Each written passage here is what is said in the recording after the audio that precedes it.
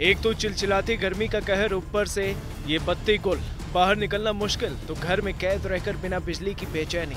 ये आलम मध्य प्रदेश में 15 साल पुरानी उस तकलीफ़ को ताज़ा कर रहा है, जब बिजली कब आती है और कब कट जाती थी, पता ही नहीं चलता था। ऐसे ही हालात 15 साल बाद एक बार फिर से हो चले हैं। भीषण गर्मी के दौरान बिजली कटौती ने आम लोगों का जीना मुहाल कर दिया है। रोज़ाना दिन और रात में कई बार बिजली कटौती हो रही है।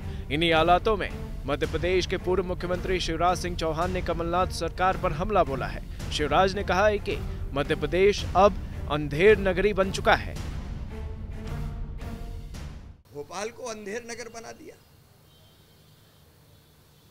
अगर प्रदेश में अराजकता नहीं होगी तो क्या होगी? अपना अपना गुट अपने अपने आदमी को कलेक्टर बनाने के की मुहिम चला रहा है और मुख्यमंत्री कोई फैसले नहीं कर रहे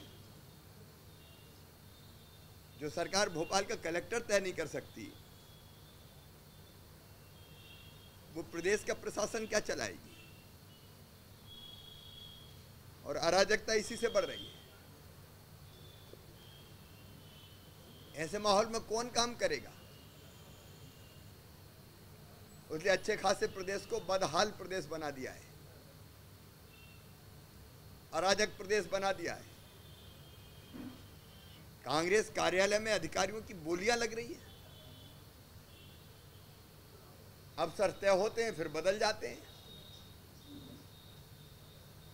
प्रशासनिक अराजकता का ऐसा माहौल मध्य प्रदेश तो क्या देश के किसी राज्य में आज तक नहीं होगा? कहाँ ले जा रहे हो मुख्यमंत्री जी मेरे मध्य प्रदेश को? यह हाल रहे तो कैसे कानून और व्यवस्था बेहतर होगी? कैसे बेटियाँ बचाई जा सकेंगी? कैसे बिजली का संकट दूर होगा? ऐसी सरकार की पूरी गर्मी निकल गई, पानी की एक एक बूंद के लिए जनता त्राही त्राही कर रही है, एक बैठक पानी पर नहीं की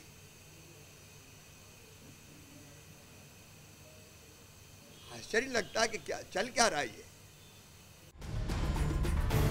बहरहाल मध्य प्रदेश में बिजली कटौती का असर लोकसभा चुनाव में भी कांग्रेस के खिलाफ गया था, जिसे जनता के बीच बीजेपी लगातार मुद्दा बनाती रही। तो अब कांग्रेस को फ़िक्र है नगरीय निकाय और पंचायत चुनाव की। ऐसे में अवैध बिजली कटौती से परेशान जनता के घरों की बत्ती अगर वक्त रहते जलती नहीं रही तो इसका खामियाजा कमलनाथ सरकार को चुनाव में भुगतना पड़ सकता है।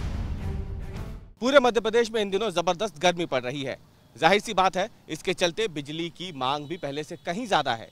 लेकिन बिजली कटौती ने सरकार को कटघरे में खड़ा कर दिया है। बीजेपी लगातार सरकार पर हमला कर रही है, जिसके बाद सरकार के पास ना तो बीजेपी के हमले का जवाब है और ना ही इस अघोषित बिजली कटौती को रोकने की कोई योजना। रवीश पाल सिंह, भोपाल।